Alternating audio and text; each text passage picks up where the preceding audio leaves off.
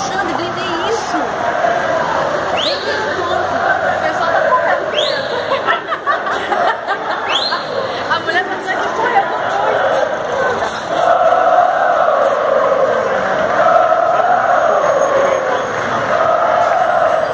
Cadê os policiais, cara?